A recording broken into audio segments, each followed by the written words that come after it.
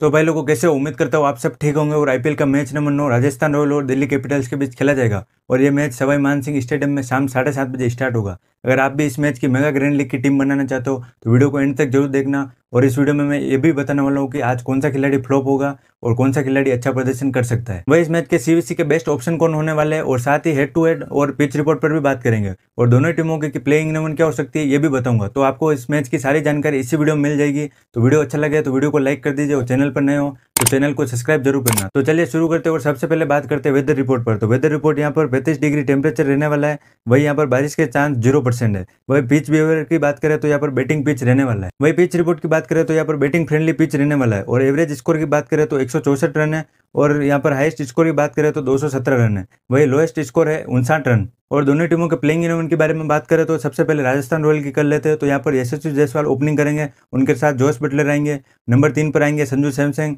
Number चार पर Riyan Parag, number पाँच पर सिमरन हेटमायर, उसके बाद नंबर छः पर आएँगे ध्रुव जुरेल, नंबर सेवन पर रविचंद्रन अश्विन, नंबर आठ पर युजवेंद्र चहल उसके बाद नंबर नौ पर आएँगे संदीप शर्मा, नंबर टेन पर आएँगे आवेश खान, नंबर इलेवन पर ट्रेंट बोल्ट और इम्पैक्ट प्लेयर में आएँगे नांद्रे बरकर। लेकिन आपको ये भी ध्यान रखना है, अगर जल्दी विकेट गिर गए तो रोमन पोवल भी इम्पैक्ट प्लेयर में आ सकते हैं। वही दिल्ली की प्लेइंग इलेवन पर बात करें तो यहाँ पर डेविड वॉर्नर और मिचल मार्च ओपनिंग करते हुए नज़र आएँगे और नंबर तीन पर आएँगे साई होप नंबर चार पर आएँगे, कप्तान ऋषभ पंत, उसके बाद नंबर पाँच पर आएँगे रिकी बोई, सिक्स पर आएँगे डिस्टेन स्टब उसके बाद नंबर सेवन पर अक्षर पटेल नज़र आएँगे, उसके बाद नंबर एट पर नज़र आएँगे सुमित कुमार, नंबर नौ पर नज़र आएँगे कुलदीप यादव, नंबर टेन पर खलील अहमद नज़र आएँगे, वही इलेवन पर आएँगे ईशान शर्मा। और इम्पैक्ट प्लेयर की बात करें तो यहाँ पर मुकेश कुमार नज़र आएँगे। वही वेन्यू स्टेट की बात करें तो यहाँ पर तिरपन मुकाबले खेले गए, उसमें से बैटिंग फ़र्स्ट करने वाली ने उन्नीस मुकाबले जीते तो वही सेकंड करने वाली ने चौंतीस मुकाबले जीते। और नो रिज़ल्ट की बात करें तो यहाँ पर ज़ीरो है।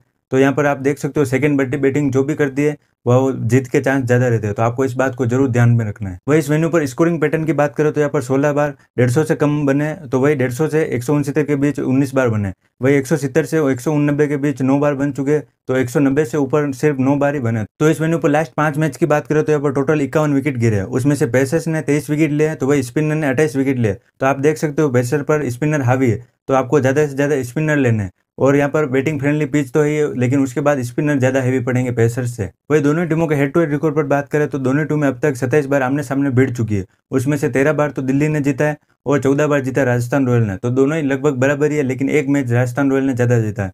तो यहाँ पर देखते हैं कौन जीतता है। तो चलिए अब टीम बनाते लेकिन उससे पहले अगर आपने मेरा टेलीग्राम चैनल ज्वाइन नहीं किया तो टेलीग्राम चैनल ज्वाइन कर लीजिए। लिंक मैंने डिस्क्रिप्शन में दे दिया सबसे पहले विकेट कीपर सेक्शन की बात करें तो यहाँ पर जोश बटलर देखने को मिल जाएँगे, संजू सैमसंग देखने को मिलेंगे, ऋषभ पंत देखने को मिल जाएँगे, और साई होप देखने को मिलेंगे। उसके बाद ध्रुव जुरल है और अभिषेक पोरल है, जो कि पिछली बार इम्पैक्ट प्लेयर के तौर पर आए थे।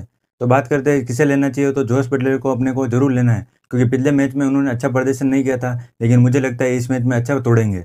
उसके बाद संजू सैमसंग को लेना है, क्योंकि इन्होंने पिछले मैच में अच्छा प्रदर्शन किया था, लेकिन ये फॉर्म में भी है। उसके बाद ऋषभ पंत और साई होप में से किसी एक को लेना है तो हम पर, यहाँ पर ऋषभ पंत को लेंगे। ये फ्लो में नहीं आए, लेकिन इनको लेंगे। अब सी वी सी किसे बनाना है मैं वीडियो में आगे बताऊँगा।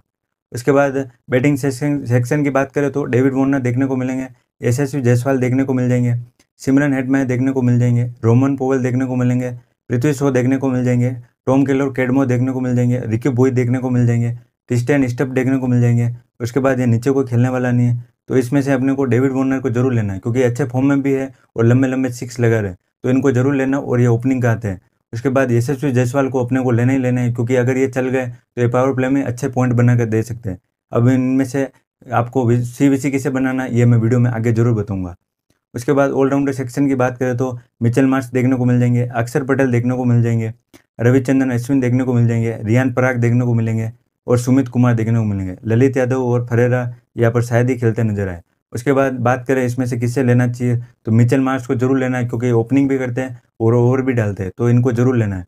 उसके बाद यहाँ पर अक्षर पटेल को टीम में ज़रूर लेना है क्योंकि यह कभी भी मैच को पलट सकते हैं। उसके बाद अश्विन को यहाँ पर लेना है क्योंकि स्पिन फ्रेंडली पिच हो सकता है। उसके बाद यहाँ रियान परा को मैं छोड़ रहा हूँ, ये फ्लॉप होंगे इस बार और सुमित कुमार को मैं नहीं ले रहा हूँ, ठीक है? उसके बाद अपने को बॉलिंग सेक्शन की बात करें तो यहाँ पर युवेंद्र चल देखने को मिल जाएँगे। ट्रेंट बॉल देखने को मिल जाएँगे, कुलदीप यादव देखने को मिल जाएँगे और आवेश खान देखने को मिल जाएँगे एंड्रिक नोरकिया देखने को मिल जाएँगे ईशांत शर्मा देखने को मिलेंगे, संदीप शर्मा देखने को मिलेंगे, उसके बाद रिचर्डसन है, जो कि ये तो नहीं खेलेंगे, उसके बाद मुकेश कुमार है, इनको ज़रूर ध्यान रखना है इम्पैक्ट प्लेयर के तौर पर आ सकते हैं। और नांद्रे बर्गर है, नवदीप सैनी है, खलील अहमद है, उसके बाद तो ये कोई नहीं खेलने वाला। उसके बाद अपने को युजेंद्र चल को ज़रूर लेना है क्योंकि इन्होंने पिछले मैच में भी विकेट निकाले थे और ये मैदान था। उसके बाद ट्रेंट बॉल को ज़रूर लेना क्योंकि ये पावर प्ले में विकेट चटका के दे सकते हैं। उसके बाद दिल्ली कैपिटल्स की बात करो तो यहाँ पर आपको कुलदीप यादव को लेना है और ये स्पिन पर अच्छे विकेट निकाल सकते हैं। तो अब सी वी से बनाना? तो मैं इस मैच में जोश बटलर को कैप्टन बना रहा हूँ और वॉइस कैप्टन में बनाऊँगा मिचल मार्च को, क्योंकि ये दोनों ही अच्छा प्रदर्शन कर सकते हैं, क्योंकि जोश बटलर भी इस मैच में बहुत ही अच्छा प्रदर्शन करेंगे। उसके बाद मिचल मार्च भी ओपनिंग ही आते हैं और ओवर भी डालेंगे। तो इस हिसाब से मैं इन दोनों को कैप्टन वाइस कैप्टन रख रहा हूँ। ये फाइनल टीम नहीं है। फाइनल टीम मैं अपने टेलीग्राम चैनल पर दूँगा, जिनकी लिंक मैंने डिस्क्रिप्शन में दे दी तो अगर आपको वीडियो पसंद आया तो वीडियो को लाइक कर देना और चैनल को सब्सक्राइब ज़रूर कर लेना। टेक केयर, मिलते हैं अगले वीडियो में।